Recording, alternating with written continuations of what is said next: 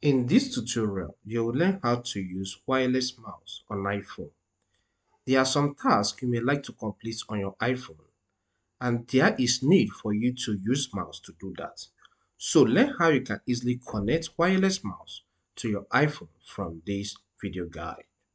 The first thing you need to do is to turn on the Bluetooth of your mouse and get it closer to your iPhone.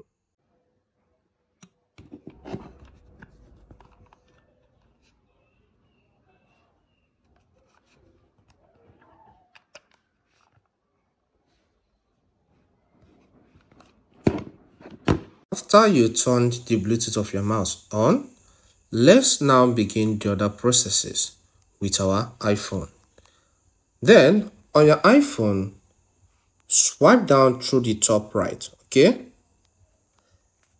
Then tap the Bluetooth for it to be enabled because this works with Bluetooth functionality.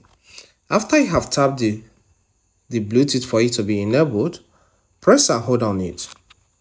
Then press and hold on the Bluetooth again. You will see some Bluetooth devices available, just as you can see on the screen right now. Then tap on Bluetooth settings. This opens the Bluetooth settings page. On the list are some devices we have connected to this iPhone.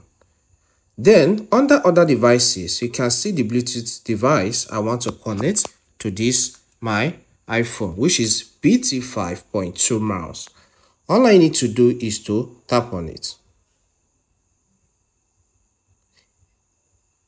And the device is pairing. Okay, we have succeeded in pairing the Bluetooth device to this iPhone. Alright, so we need to go and make some other changes on the settings of this iPhone so that whenever we move our mouse, it reflects on the iPhone. So tap on settings.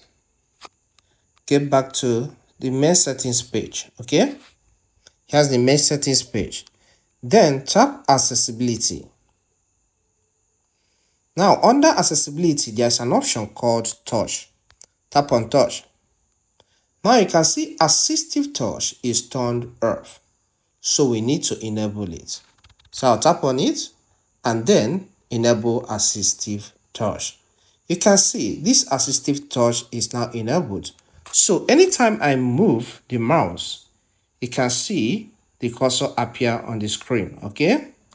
So let me go to the home page. Let's assume I want to open my mail. I'll click on it. You can see it has opened. If maybe I want to use the browser, what I will need is just move my mouse with my move my cursor to the browser i'll click. And it has opened. So these are just the few steps you need to take. I hope you find this guide helpful. Please do like subscribe and leave a comment